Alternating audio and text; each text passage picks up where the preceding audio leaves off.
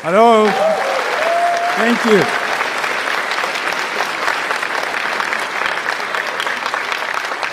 Thank you. Good afternoon, everyone.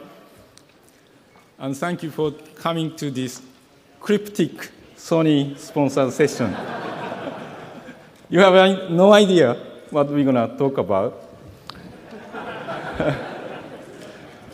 I like GDC, and for me, GDC is, like Megan says, where I can get a quick snapshot of what's new and trending in the industry.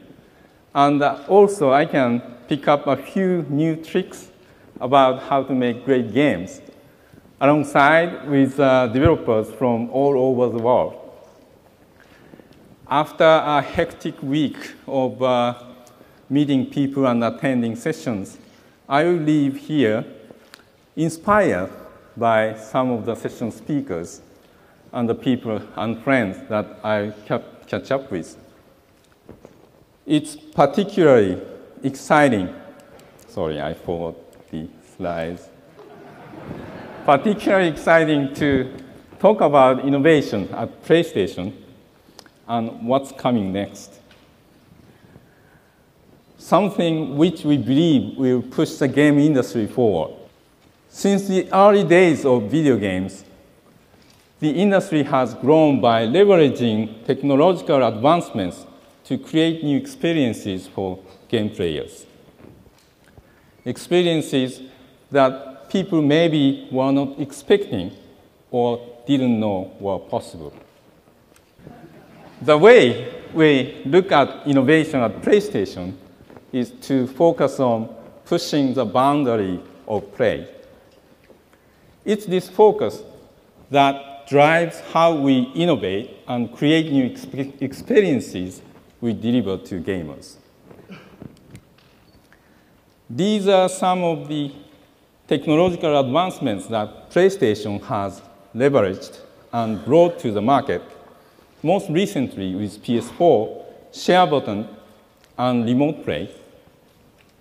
And this summer, we are launching PS Now, a streaming game service that leverages Gaikai's cloud-based technology.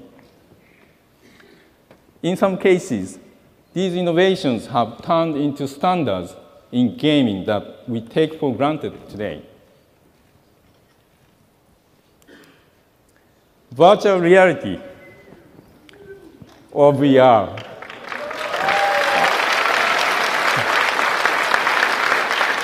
you knew this was coming, right? is the next innovation from PlayStation that may well shape the future of games. Let me start first with how we arrived here, our road to VR. Making games immersive has always been one of the goals of game creators. Game developers have used and experimented with technological, technologies like 3D graphics, first-person view camera, HD resolution, realistic physics, motion capture, motion input, and augmented reality. All of these have contributed to creating immersion in games. The feeling that you, as a player, are so engrossed within the world that the developer has created. You forget that you are actually playing a game. But nothing elevates the level of immersion better than VR. And it goes one step further from immersion to deliver presence. Rick and Anton will discuss this sense of presence more, which can only be realized by VR. VR has been a dream of many game creators ever since the computer game was invented many of us at PlayStation have dreamed about VR and what it could mean to the games we create.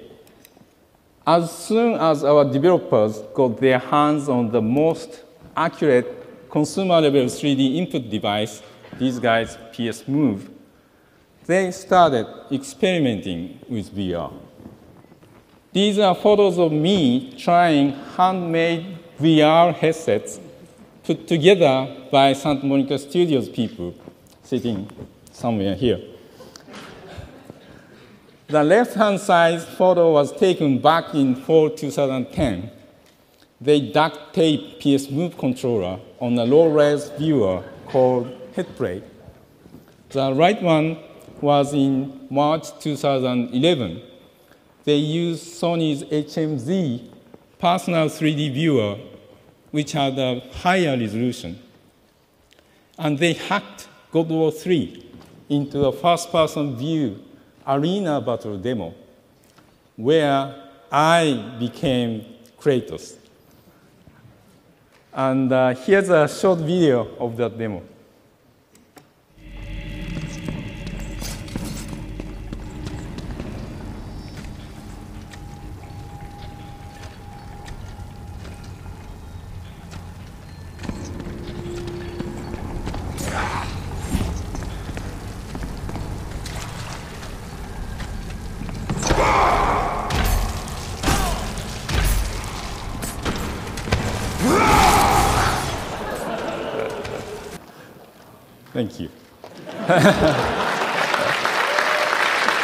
That was three years ago on PS3. And actually, the coolest thing about the demo was when I looked down, I saw my body was that of Kratos. that was an empowering experience, as you could imagine. the next video we showed in public actually, so some of you might remember.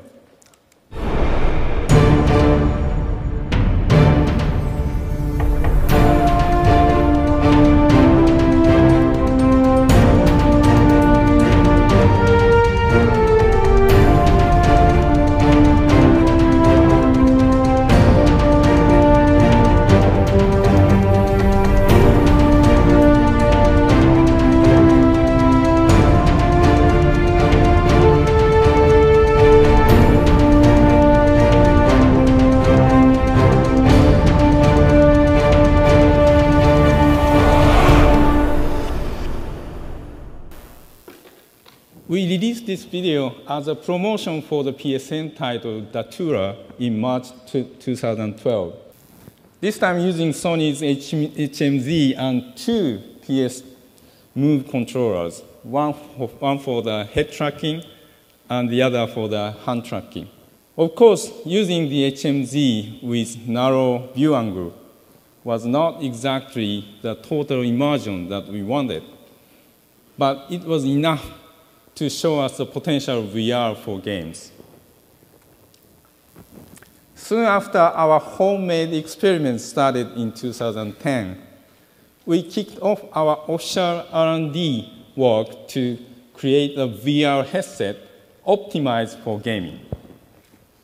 We formed a cross-functional global team composed of SCEI hardware group SCEA R&D, and Worldwide Studios members.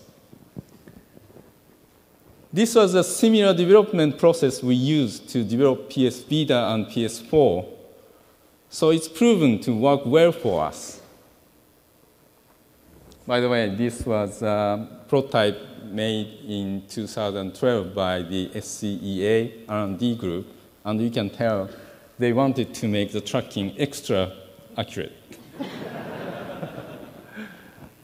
With all of that history, I'm thrilled to introduce Project Morpheus, a virtual reality system for PlayStation 4.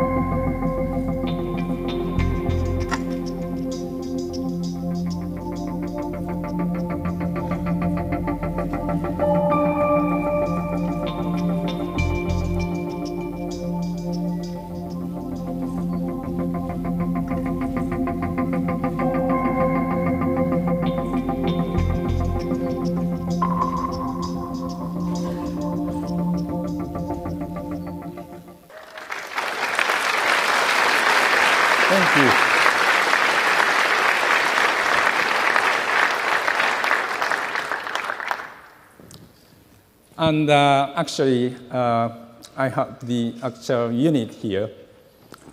Some of you might have guessed where it is. so let me, let me show you.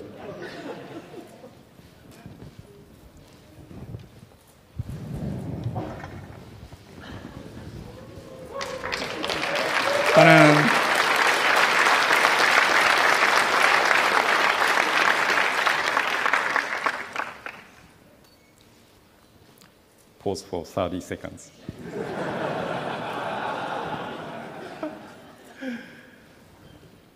this is the culmination of our work over the last three plus years to realize a vision of VR for games and to push the boundaries of play.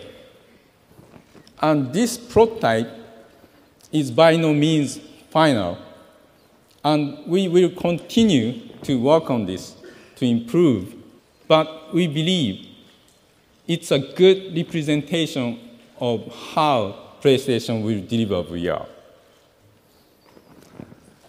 We are very excited to have you try this in our booth starting tomorrow. Yes. And for you to give us feedback. This prototype also serves as the first development kit for PS4 developers who are as excited and enthusiastic about this space as us. We believe Morpheus will further enhance the world of PS4 with seamless integration with PlayStation Camera, DualShock 4, and PS Move. Morpheus will provide an easy to use plug and play VR experience to consumers. And we'll expand the ecosystem of PS4 with another medium for our publishers and developers to create content. We will continue to improve this prototype by getting direct feedback from you developers. That's why we chose GDC to announce Project Morpheus. We'd like to invite passionate and creative developers to innovate with us.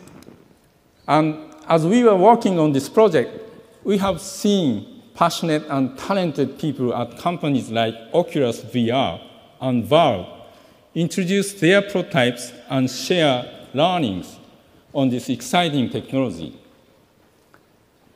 I have an enormous amount of respect for them. And we were inspired and encouraged by the enthusiastic reactions by developers and journalists who tried their prototypes.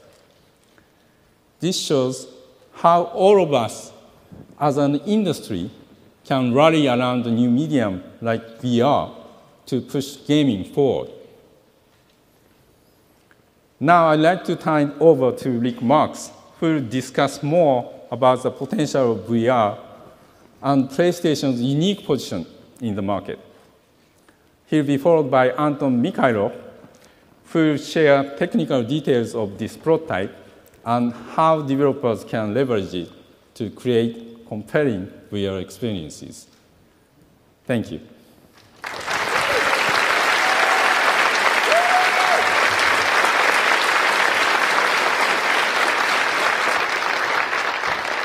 Thanks, Shu. Actually, you know, one of my favorite things about working at PlayStation is getting to work with someone as passionate about gaming as Shu. So, um, it's also been really great to be part of this project from the very beginning. SCEA R&D has been rare, and uh, it's really, truly a global project working with guys from Europe and Japan. It's really a great part of my job. And so, let me grab my clicker here. So I'm going to talk to you a little bit more about VR and what makes it special. The thing that makes VR special really is this, this feeling of being in another physical place. That place could be a realistic place, it could be a fantastic place. Both work, but it's really that feeling of being somewhere else. And uh, there's just no, there's no way to explain it to you that will make sense, but it's that feeling of presence that we're, Shu already mentioned. It's really very compelling, and you have to experience it to understand what I mean. So I'm not going to talk about it too much more, but how well we can make the technology that lets us achieve that presence is really going to dictate how well VR gets adopted by you know, a large audience. So for me, I, you know, I, I'm actually not a person who all his life has been trying to achieve VR. For me, actually, when I first experienced presence is when I switched from being a supporter of VR to a huge advocate of VR. So actually, I've had a big shift in my belief just by getting to feel it firsthand. Well, just like any new technology, there's an S curve for it. And VR has been on this flat first part of the S for a long time. The trick with it, the S curve is to know where you are. Now, we're just reaching this inflection point, the really exciting place on the S curve, where advances in the, you know, the quantitative technology can really make a huge qualitative leap in the experience you get out of it. So I, I actually, as a technologist, I feel super lucky to be part of this time, this period when, when this is happening. Because presence, presence is disruptive. I mean, it's, it's, it's really that compelling. It's going to become pervasive. It's, uh, it's going to become the preferred medium for all sorts of applications, not, not just games. I mean, it'll be awesome for games, but it'll go beyond games. Letting people feel like they're present somewhere else, it, it's, um, it's going to impact all sorts of other kinds of entertainment and even non entertainment applications. Just for example, actually, I, I've been working on something with a, a, a joint project with NASA and JPL, and um, they're actually here today. And we have really, I, I mean, the reason we're doing it is because it's super cool just to work with NASA. But, but also, the reason is we have two, two kind of main goals. The first one is um, they're already trying to use VR to do immersive science. And so we'd love to make hardware that's good enough for them to be able to do that. They're like a, you know, a sounding board for us. If they, if they can use it for that, then we're good. Um, secondly, we would like to create new experiences for our PlayStation owners so that when NASA gets to a new place, everyone who owns a PlayStation can feel like they're there exploring right along with them. And so one of the things that I worked on personally, in this whole week we've been, we had the guys from JPL up working on it, is a Mars demo where you feel like you're actually standing on Mars, the surface of Mars. We have the real data captured by the Curiosity rover, and we have the real model of the rover that's kind of driving along next to you. VR is going to be pervasive, and what I mean by that is it's going to be all sorts of things you'd never think it would be used for. Maybe even something as simple and mundane as like you want to pick out a hotel room for your next trip. Just imagine just picking up your VR headset, put it on, and you're standing in the lobby of that hotel and you make a decision. Am I going to stay here or not? That's the kind of use you might get. And there's already projects like uh, the Google Tango project, which is you know, to capture data like that that you would need to create that kind of environment automatically. It'll be a few years before we can automate that process, but that's where we're going. So there's this awesome, awesome vision you know, that we have of how important VR is going to be. How do we get there? Well, we've identified these six main areas. I mean, presence is, is hard. Presence is hard to achieve. That's why it hasn't happened in so long. But um, I think if we can nail these six areas, VR will be able to be a mass market industry. So the, the first two, sight and sound, are really, we need to deliver really rich experience to our, our richest uh, two senses. Uh, we need the whole world, virtual world, to respond in a natural way when you move your head around. Uh, we need to be able to interact with that world, reach out into it. And then we need to do all this in a, in a very easy to use, approachable manner. And then, of course, finally, we need to have the right content for it that leverages the new medium properly. So let me go into these a little bit more detail to explain how we're doing some of these things. First of all, sight. Well, to, to achieve presence, we need a, we need a high res, high frame rate, low persistence display. No problem. but uh, actually, we need more than that, really. We need some specialized optics, too. I mean, we have this really small screen right in here, but we really want it to feel like this giant uh, world that's surrounding you. So that takes some specialized optics. Luckily, we have uh, a lot of expertise in this area from our parent Sony. They, they're done display technology and optics technology in a lot of products for many years. And we're really drawing upon that technology and that expertise. And then, of course, even when you have this great headset, you still need to drive it. And that's where the graphics power of PlayStation 4 is going to come in and be able to render these beautiful virtual worlds. Equally important, actually, is sound. I mean, again, Sony has a long, long heritage of audio technology. We have, you know, the Walkman, we have compact disc. And at PlayStation, we've always really put a huge emphasis on sound in games, Journey being a great example of that. In VR, sound is even more important, actually. Because in VR, you want to achieve this feeling of presence, it's really important that things sound like they would in the real world or in a, a consistent way with the graphics. So having spatialized sound is really important.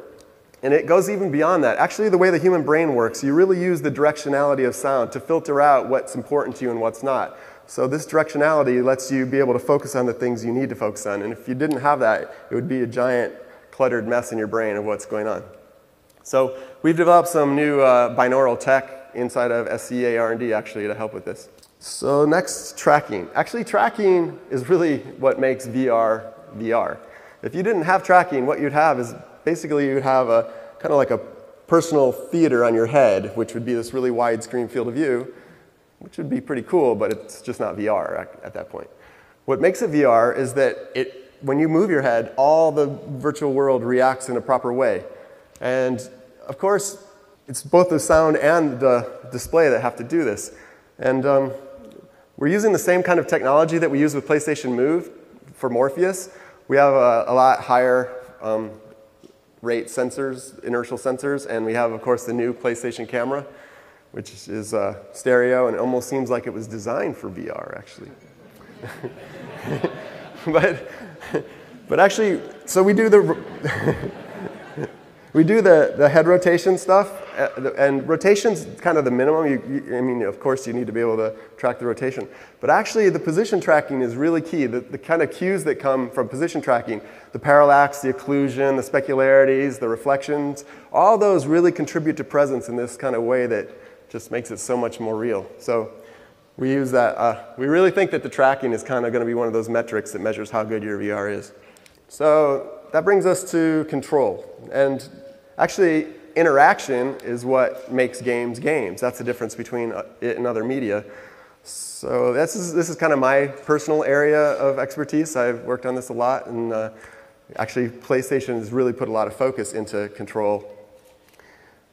Actually, control in VR is a hard problem. There, there's going to be a lot of problems to solve down the road. Actually, I really like my job security right now because I think we're going to be working on this one for a while. But actually, PlayStation's in a great place as far as control goes. We have a, an awesome controller, which is DualShock 4, and it, it actually has sensors inside of it, and it has the light on the front, so it can be tracked by that same PlayStation camera as we use for Morpheus. And then we have actually PlayStation Move. PlayStation Move was actually kind of a little bit ahead of its time. You know, it is actually a really good VR controller, full six degrees of freedom. So we have a, we're really kind of happy with our positioning and control here to really make this all matter to a lot of people, it's going to have to be easy to use. And what I mean is you're going to have to be able to drive to the store, buy one of these, come home, plug it in, turn it on, and it just works. It, that's how you get mass adoption. You can't have to install specialized drivers and have specialized, you know, we really want it to be easy for people. And another way to make it easy is to make it comfortable so that you can put it on, it's easy to adjust, it maybe even automatically adjusts in some cases, and you could just have it, what, what, our goal is, is to have it so it could just be sitting on the coffee table. And when you want to go to VR, you pick it up, you put it on, and you're in VR, and you take it off, and you're out of VR. We want it to be that easy to use. And these are the kind of things that consumer electronics companies have to worry about all the time. So, you know, we're used to working on this kind of area. So I, we'll, we'll get that one nailed. Last thing, it brings us to content. So at Worldwide Studios, we, we have a really good team, and, you know, they'll be delivering a seed of content to get this whole ball rolling. But the reason, like Shu mentioned, that we're announcing this here at GDC is we really need the entire development community if we want to achieve what we think is possible with VR. So as a platform holder, it's our job to create this great content pipeline for you guys to be able to make these great experiences. So we're, we're working to get authoring tools, get engines, and get the whole distribution channel, we, like we have already for PlayStation, all in place for you guys to be able to deliver great VR content. We want to make PlayStation the best place for VR, and not only just for people playing VR, but actually developing for VR. So we're working with partners already. We have these partners. I didn't know it was animated. Um, yeah, so um, actually on the, on the NASA demo, we used, for example, we used Unity and Wwise for the two middlewares for it. So we, um, we already have some of this that supports Morpheus, so it, we're uh, trying to make it, again, as easy as possible for developers to create content. But on the other hand, VR is very new. So some of you who want to dive all the way down into the metal and do these specialized graphics and rendering techniques, I think there will be a lot of space here for you guys too. This is, this is a great, great time. I mean, this is, this is like the wild, wild west. I mean, this is when there's no rules right now. There's no killer genre that you have to support. There's no, there's no, uh, this is kind of like a once in a career kind of situation. You know, how often do you get to define a new medium?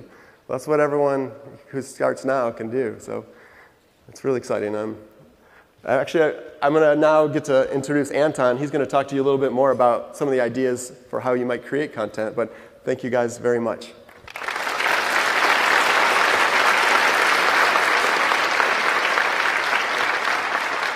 Rick. So my name is Anton Mikhailov. I work with Rick at US R&D. And um, today I'm going to talk to you you know, a bit about our long-term vision for Project Morpheus and also about our current dev kit uh, in more detail. So, you know, to start out, our philosophy for VR is really that it's a medium, it's not a peripheral. And that's important to realize because the rules are going to be different. Um, presence is going to be the killer app for VR, and games will be just one type of content. In this scenario, the VR scenario, emotion is amplified beyond anything you've seen in traditional games. And that makes the experience very social, uh, unlike what people might think traditionally. And this experience will be for everyone. So, what I mean by a new medium is that really a lot of the rules that you're used to in game design just simply don't apply. In many cases, presence trumps game design. So, it's much more important to have your game uh, deliver a sense of presence than it is, you know, to sort of conform to a given genre of today.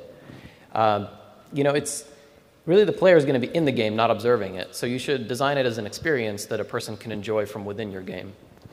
Uh, conversely, typical game art can look kind of weird. Uh, normal maps don't always work. Uh, sense of scale can be quite off. Uh, we've seen many things like uh, doorways in games are too wide and too short. It looks fine on screen. In VR, you just feel like a hobbit or something, so it's kind of strange. Um, and you know, there's a lot of other game design things to talk about. Actually, this talk's really not long enough to cover all, uh, you know, all we've learned ourselves and from other companies, but I'll go through a few of them just to give you a taste. Um, the first one is that head motion for the player is law. You basically can't mess with this. If you mess with this, you make people sick. And this is a little bit of a culture shock for some developers because they're used to, you know, using field of view as an artistic thing or, you know, camera positioning really in VR, you want to keep the person's head where their head really is. And that's what gives you that sense of presence, and that also is what prevents people from getting motion sickness. So if you have a first person game, um, you know, that takes control of the person's camera, often you might consider doing actually a third person game, which we found to be also quite immersive, and it's a new way of people to experience your content. You know, same for cutscenes. Cutscenes don't work very well because you're locking the person's view. So it's much better to put them outside of the cutscene to let them observe the cutscene naturally. There's also a lot of uh, you know, game design challenges, so to speak, that we don't really know the answers to. And we have some ideas, but it'd be really great to talk to you guys throughout the week uh, to find some, some, answers to these. So one of the interesting ones is arm positioning in VR. So, you know, if I'm using something like the Move controller to track my hand, in the real world, I'm not, you know, impeded by anything. But in the virtual world, there might be a wall. And so you might think that the best way to solve it is to sort of use some kind of IK system and, you know, prevent the virtual hand to go through the wall. And that makes your game look nice, like in a screenshot, but actually in VR it feels quite weird because you have a, a, disconnect between where your hand really is and you know where the hand is in the virtual world. So it looks uh, fine, but it feels kind of strange. So okay, there's another idea you can have is you can maybe draw the hand over everything else all the time, and that seems like a really clever hack at first. You say, well, now my art looks fine, and the person can see their hand, uh, but actually the, your eyes aren't so easily fooled, and so they feel the difference between where you're converging and where uh, sort of you're accommodating, and there's a depth conflict, and so that one kind of strains your eyes and confuses you further. And sort of ironically, the simplest solution, which is just ignoring the problem and letting the hand uh, clip through VR, actually works quite well. You might do an effect to sort of accentuate that this is a virtual space, but you know, actually just dealing with the problem that way lets the person feel oddly more present than, you know, clipping or accommodating. So that's just an example of one of the issues that you might encounter, and there's some non-intuitive solutions for this. And really, this goes back to presence. We really do believe presence is going to be the killer app. So it's very important that you keep to it. Uh, essentially, presence is very fragile. It's very easy to break by messing up technical factors or game design factors. So we'd like everybody to be, you know, very well aware of that. And it's really the unique selling point of VR. This is what will drive people to VR games. So if you really don't feature presence, it's, you know, it's not clear why people aren't, wouldn't be playing your game on a screen. So to really achieve presence on the technical level, you'll need to hit a few key technical factors. There's other ones. Again, there's a lot more to go into than this presentation allows, but the big ones is keeping your latency low. Uh, this is, again, kind of a shocker for a lot of people. There's a lot of high latency games out there. Um, keeping your frame rate high, also very, very important. Uh, both latency and frame rate can get you into motion sickness land very rapidly if you mess those up, so please keep those good. And uh, you know, calibration is also very important. I mentioned game art looks strange, so in addition to kind of optical calibration and tracking calibration and everything that you know we can handle for you on the hardware side, kind of calibrating your environment to be a real world scale uh, or something similar to it, or something at least self consistent uh, again, helps a lot. Uh, we found that some games that are rendered very realistically don't give you a sense of presence because, like I said, you'll have a coffee table and a lamp, but their proportions are wrong or the doorway is too narrow or whatever. So that's important. And equally important is rendering the images cleanly. Avoid aliasing, avoid uh, weird post-processing hacks and things like that. So you really just have to do a good job on your imagery. And the 3D audio will really seal the deal. Like Rick was saying, 3D audio really helps you put put yourself into that world. And you know, a lot of people leave the, the audio for last, but it's really quite important to design audio with VR kind of like at the same time. It really will help the sense of presence. It will amplify it. There's also other interesting ideas you can have for you know different game genres. So for driving, for example, uh, contact points between your real hands and the virtual hands, like on the steering wheel, for example, will greatly increase the sense of presence because not only do you see your, your hands, you see your hands matched up to a physical object and you feel that object. So that haptic feedback helps a lot. And that's true not just for your hands, it's true for your feet if you have pedals. It's even true for your back. And sort of like if you have the chair that the person is sitting in matched to the virtual game chair, it actually helps increase presence as well. Now, of course, you can't always do that. Uh, you know, if you're in a race car, you're not going to, you know, bundle a race car seat with your game um, unless you really want to, but that's quite extreme. But you know, actually matching your in-game seat to a typical player seat can actually be a good strategy to increase presence in your game. And of course, for other types of games, you know, if you have a shooting game, a gun peripheral of some sort will greatly enhance it. Again, it doesn't have to match your game perfectly. You know, we have the PlayStation Move uh, gun attachment, and we've used that to simulate crossbows, you know, flares, shoot other different rifles. And that works because you can't see it, right? So you don't know, it's just a feeling you know, of course, for sword-based games or you know rackets or various sports tools, PlayStation Move does a great job because you actually feel like you have something in your hand. And the DualShock 4 on PlayStation is now also tracked. So if you have a game like a flight game, it quite resembles a flight yoke or something like that. So I mean, the takeaway is really match your controller to whatever um, implement your your virtual avatar will be using, and that will increase the sense of presence. And uh, like I mentioned before, games are really just going to be one type of content that take advantage of this. Uh, you can imagine how exciting it is to go to a foreign place for tourism, and virtual tourism, I think, was going to be just as exciting for VR. And it doesn't necessarily need to feature gameplay. I mean, if you go to visit a beautiful cathedral, you don't expect there to be gameplay associated with it. So, in the same way, if you visit a beautiful place in VR, you don't necessarily need gameplay. So, I think areas of interactive media should be particularly excited about this. Um, at the end of the day, though, games we still think are best in the sense of interaction providing you a grounding for the presence, and it gets you more involved into, into the game itself. So, uh, you know, and also at GDC, so we can't really say that that's not the best content. But you know, also game worlds tend to be the most fantastic ones, right? So you can do real tourism in the real world, but you can only do virtual tourism inside you know, virtual environments. So a lot of the fantastic environments you create can only be experienced by VR, and so that's quite exciting for us. And uh, emotion in the space is really going to be amplified. So it, this is really above anything you would be able to experience in a traditional game because you know you have complete sensory blockout. This is the same reason people go to a movie theater rather than watching certain movies at home you know, they want to be in a dark space with a large screen, you know, controlled audio, if you have some guy coughing in the front row or a cell phone goes off, immediately your immersion breaks down. You say that guy's annoying or whatever. And so the same thing is happening inside VR. This is going to be the first time where your game is literally the only thing the person is seeing, probably also hearing if they have full audio blocking headphones. And so you get a whole new palette of emotions you can experiment with. You know, you actually do get a sense of vertigo. So in a regular game, if you're standing on a ledge, you feel like maybe, okay, I'm gonna, you know, die and have to restart or whatever. But in VR, you actually get a sense of fear when you're standing on a ledge. It, it can mess some people up. Uh, claustrophobia, fear of the unknown. Like a lot of these things are pretty intense. And so uh, you have a whole lot of new emotions to work with. So please be careful because some of these can really freak people out. But that's also incredibly fun to watch. And so that's why we think the experience is going to be very social. Uh, I think that once people see people, uh, you know, in VR, it's going to be rapidly a I want to play it too kind of scenario. And traditional online multiplayer is actually quite cool because if you have somebody over network um, in another space, well, remember we have head tracking for VR already. We have hands tracking for VR already. And so you'll see their hands and you'll see their head motion. And those things are accurate enough to deliver subtle body language cues. I mean, they have to be for VR. And so seeing another avatar is really, truly amazing. And we have, for example, a simple application where you can play a musical instrument using Move, but then you could also see somebody else playing. And you can actually use the body language from the tracking systems to you know, sync up like you would be in a real band. So it's really quite a, a, physical experience. You see people's head move slightly, you see them look at this or that, you know which, you know, which drum they're going to hit next. So uh, the multiplayer aspect of it is really cool, but there's also kind of a couch multiplayer aspect of it as well.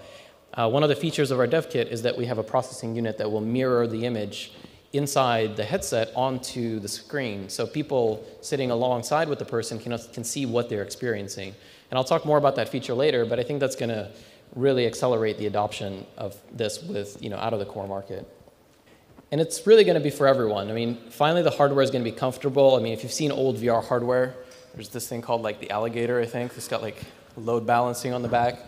Um, this is comfortable. It's friendly looking. You know, it doesn't look like it's going to break your head or something. Um, and it works with people with glasses. It works with different head shapes. You know, we learned a lot from the Sony guys in making this happen. And the content is very varied, right? So if you want a very mild experience, just like some virtual tourism, look around, maybe interact lightly, you can do that. Um, you won't get motion sick, you know. And if you want a really extreme experience where you're barrel rolling a plane, you know, you might get motion sick from barrel rolling like you would in real life, but you're not going to get motion sick because of VR, right? You're going to have a choice of hardware, and so there's going to be people that like roller coasters and people that don't. So it's really going to be available for everyone, you know, and just like you have preference in, re- in regular games, you might have preference in VR games. And the experience can be shared, and that's what we'll allow to spread. So that's, I think that's going to be the, the key. Once people see somebody else interacting in VR, they're going to want to put it on and try it next. And so I'll, I'll go into our current dev kit current, uh, for now. So again, this is all tentative, uh, but the current dev kit has a 1080p display and a 90 degree field of view.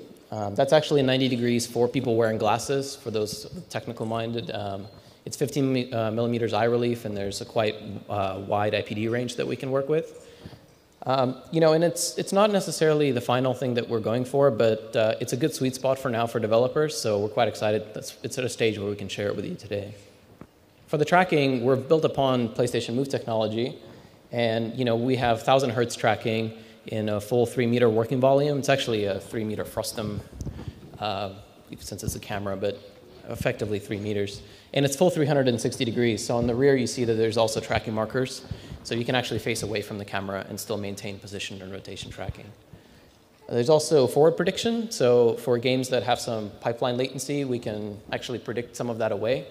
It's sort of a crutch, so you should really try to get your game latency low as possible. You still might need some prediction anyway, because there's always going to be some render latency. Um, but it's a really good feature to get, your, get, get the ball rolling. And, uh, and you know, to mention again, the, the, tracking is done by the same camera as the DualShock and the PlayStation Move. And you know, that's nice for customers because they don't have to buy a new tracking system, but it's also very nice for developers because if you've ever used other VR systems and had to calibrate two tracking systems together, you know, it's a real pain. So it's really nice to avoid that and have the same tracking system for both of them, or for all three of them, really. For the 3D audio, Rick mentioned that we've um, done binaural uh, audio synthesis, and this is a sort of true spatial sound system uh, synthesized by simulating the human ear. Uh, this is different than like a virtual surround sound kind of thing. It's really rendering the sound in a similar way that you would render visuals into your ear. So it's a little hard to visualize because it's sound, but uh, that's effectively what's going on. And it was created by real world experience, uh, experiments using speaker microphones and arrays. This is actually our test rig setup. It's kind of crazy. Um, this is a fully blocked, huge, fully uh, soundproofed, huge room. And in the middle there, you see uh, a swivel chair so that person can rotate. And around it is an arc of speakers co covering from head to toe. And we use this setup to basically spin people through it and record audios for various uh, signal tones and stuff like that. And this allows us to, in post, simulate over 60 virtual speakers around you. And that's, you know, that's both distance and angle, right? So it really gives you a pinpoint precision of where the sound is truly coming from. And that, that really helps not only kind of enhance the sense of presence, but it gives you new gameplay ideas where you can just play a sound and people will turn just like they would in real life. And uh, for the ergonomics, you know, we have quite a unique design. Uh, we learned a lot from, you know, parent company Sony about consumer electronic head mount design because they've been doing this for quite a while. But we've also, you know, uh, taken our learnings from PlayStation and gaming to adopt it as a gaming headset. And we've really optimizes for comfortable use over a long term. So we've kept the adjustability that you'd find in a commercial VR headset, but we've also added a lot of comfort to it. So like I said, it's adjustable. Um, it actually supports 15 to 25 millimeter eye relief, again, just for this prototype. Uh, it's not necessarily final specs, but it's an open air design, so even though there's light blocking, there's lots of air coming through, and that avoids lens fogging, that avoids heating issues, um, keeps you cool basically. And uh, most of the weight is actually on your head, so there's no weight placed on the nose or the cheeks. And that allows you to basically keep the headset on for a while without you know, having any pressure on your, on your face, because that can be quite a discomfort. Uh, there's also an audio jack directly on the head unit, so that if you have headphones, you can plug directly into it. Uh, you don't have to stretch a cable all the way to the PlayStation, but uh, of course you can use wireless uh, headsets as well. And uh, I mentioned the social screen feature earlier. We actually have a breakout box in between the head mount unit and the PlayStation 4. So that doesn't introduce any extra latency. It basically takes the signal and splits it off onto the main TV. And it creates an undistorted view of what the person is seeing inside the headset. So it's quite easy for people to understand what's going on. We found that it can be confusing if you show them the kind of standard binocular view that you would see. So it allows the people in the room to follow along with the person that's in VR. And what that does is it allows for very unique asymmetric gameplay. So, for example, I can be in VR while my friends could be sitting on the couch and say, I'm like the hero of the game. They can be playing the monsters because they can see what I see. So they can play against me even though they don't have a headset on. They're on the couch, they're playing against me. And whoever takes me down, for example, gets to you know, use the headset next and they become the next hero, right?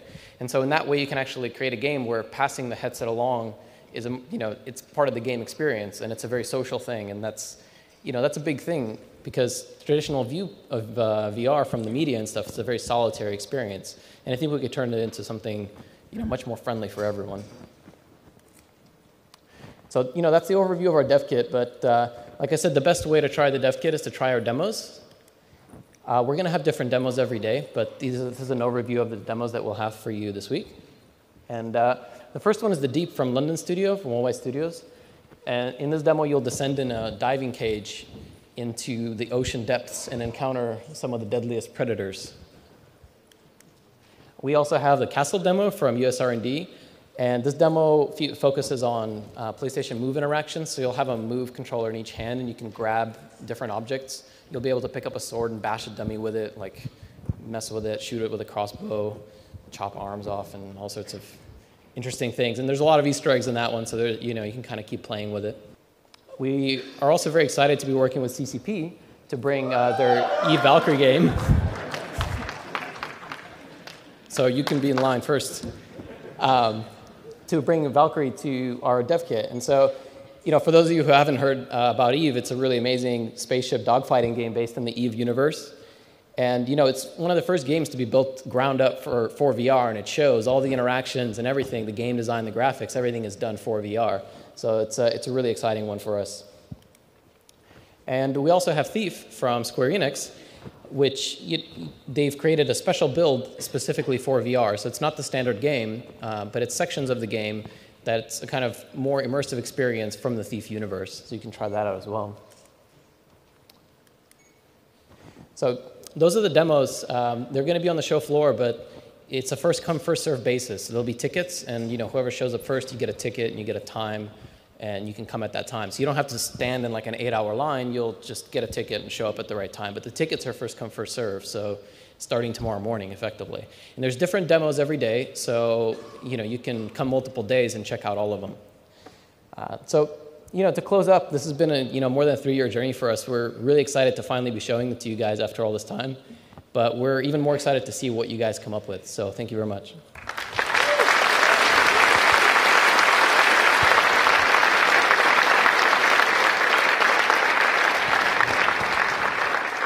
Are there any plans for a VR-specific operating system that goes along with the headset? You mean for the PlayStation 4? Yeah, but something that's like separate from the PlayStation operating system. What- what Would it ever be standalone? I guess is what I'm asking. So, I'm sorry? Would it ever be standalone? I guess is what I'm asking. Standalone without a PlayStation? I mean, you need pretty powerful graphics hardware to drive it, so PS4 has that, and so uh, I'm, I'm not sure. Right, right now, we're focusing on how to use it Yeah. with PlayStation 4 primarily. Hi.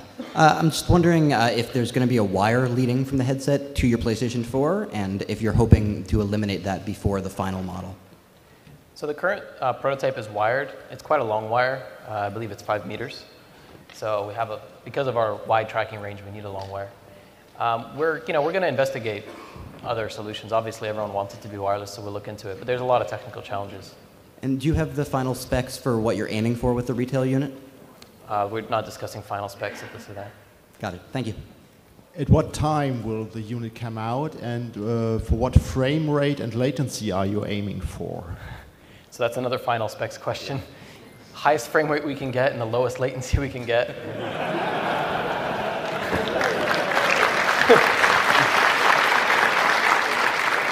And coming out as soon as possible. might,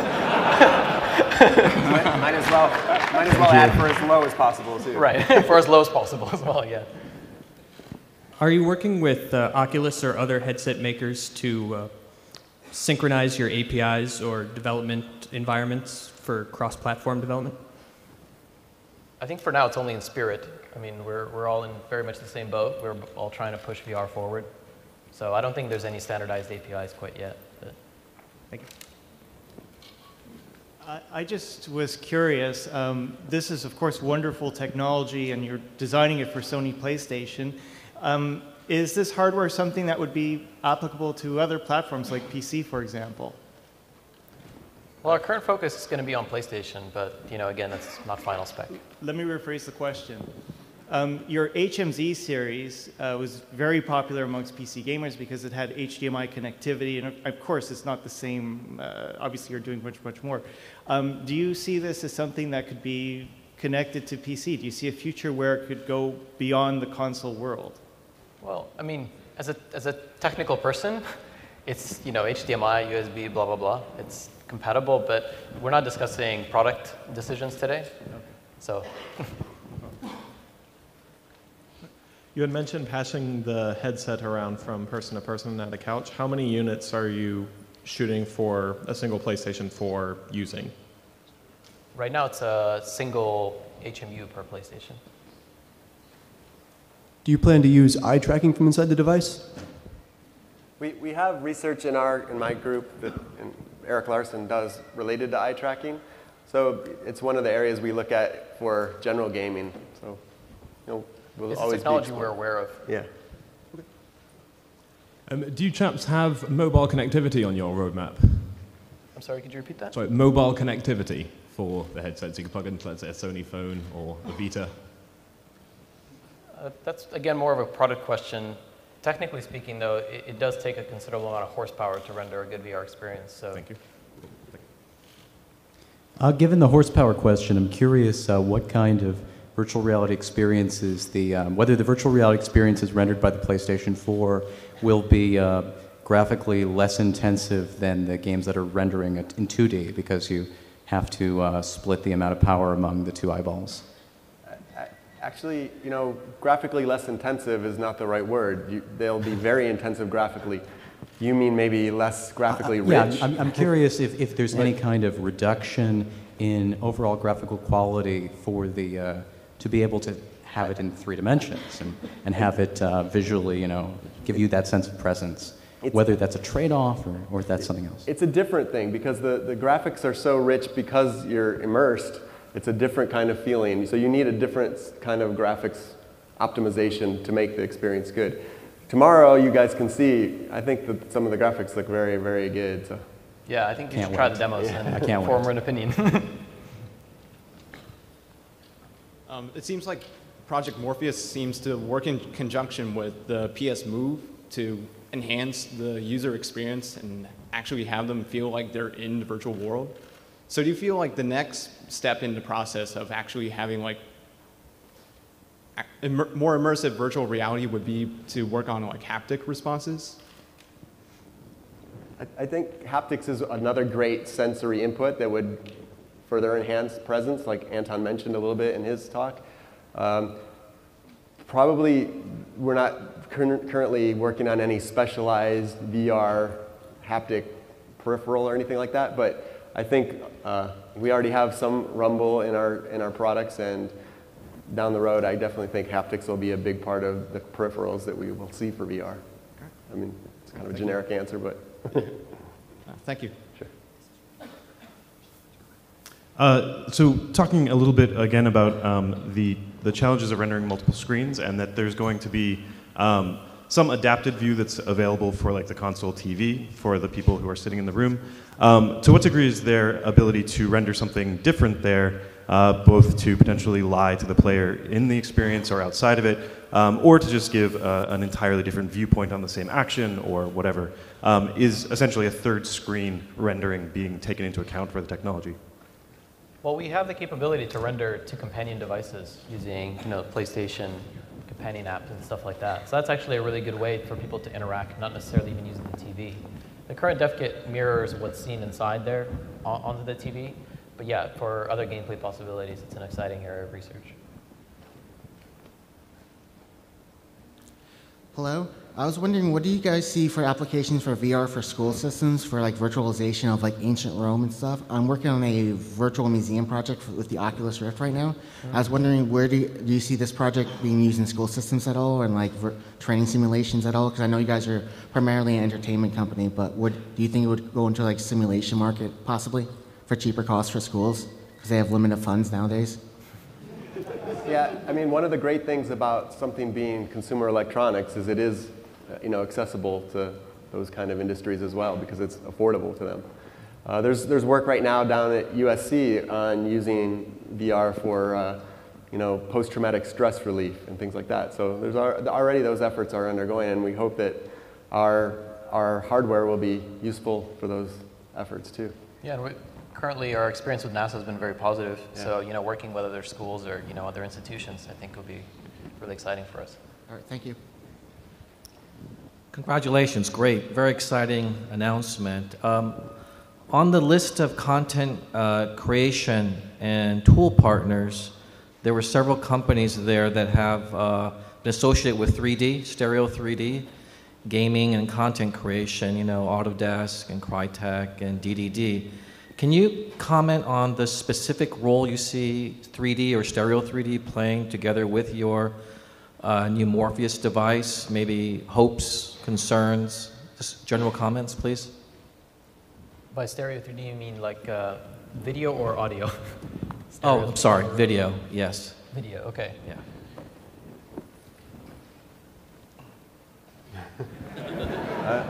I mean, it's, it's different than 3D cinema because, you know, 3D cinema, you basically, you take the image with a virtual camera, and then when you present it on the screen, you just kind of shift things to make it look parallaxy. Um, this is fundamentally different because we're actually rendering the correct view for each eye. So there's a lot of learnings from Stereo 3D. Uh, you know, they, they do try to calibrate things as well as they can and stuff like that. So, you know, those partners have a lot of expertise in things like optics and all of that. But, you know, the experience is different than stereo 3D TV. It's not, it's not really the same thing. Yeah, you're rendering two views, but, you know, the way you consume that is just completely different. Yeah, So- but, but some of the tools will Yeah. overlap. So some, some of those tools that help you render 3D, uh, especially the authoring tools, will be useful for VR ren- authoring. Thank you. Hello again. I'm wondering the significance of Project Morpheus as a name and which first party Sony studios are making games for the headset. That's a Shu question. Well, well um, we, we decided on this name last week, so. yeah, this could have been something totally different. It was chosen because Morpheus is the god of dreams, and so it's, it's sort of uh, supposed to evoke the feeling that uh, you know, it could be a dreamlike experience inside the headset. So not a Matrix reference then? Sure. and uh, which first-party studios are making games for the headset? Sorry? Which first-party Sony studios are making Ah, games for the HMU? So the Anton showed the uh, screenshot of the Deep. It's uh, uh, done by London studio. London studio has a lot of experience, you know, working on the, you know, augmented reality and 3D input, and uh, so that's one example. And the other studios are kind of experimenting. Uh, the number of units, you know, are still limited right now, but we are able to produce more of this unit for all developers. So um, I'm, I'm, I'm expecting more studios to uh, work on, you know, something cool. Thank you. Uh, have you let your kids try it, or any kids? If so, did they like it? Were they excited? And do you have any recommended age ranges you could release right now? We, we don't have a recommended age uh, range yet. That's, again, like more of a product question and the decision there. Uh, having said that, we've had young people try it, and they've been very excited about it, obviously. I mean, it's kind of like that's what they expect, right? It's, it's sort of, a, yeah, yeah it's what you see in the movies. Hi there. Um, so I- I'm being told we're supposed to take one more question. That's, sorry, that's you. Oh, me? Okay. All right. Um, I wanted to ask about locomotion. So you can put your hands in the game with the PlayStation Move. Are there any plans to get your feet in there to let you walk around these virtual environments? Yeah, that's, that's I mean, we've had some research stuff on, on that, and there's a lot of research in other companies and on the internet and whatever. Uh, you know, everyone has their own opinion about how well that works. Um, What's your opinion? It's an active area of research. It's an active area of research. I mean, I've tried a few different things. Some of them work better than others. Um, it, de- it depends on kind of what you're trying to accomplish. If you're trying to accomplish more of a feeling of immersion, I think actually physically locomoting is better than kind of walking in place. That's why we have a quite wide tracking range. Um, but you know, obviously you can't walk forever, and so you know, locomoting in place can be a replacement for that. And I, I think that teleportation is very cool. So that's another solution. Thanks. Okay, that's it. Thank, Thank you very much.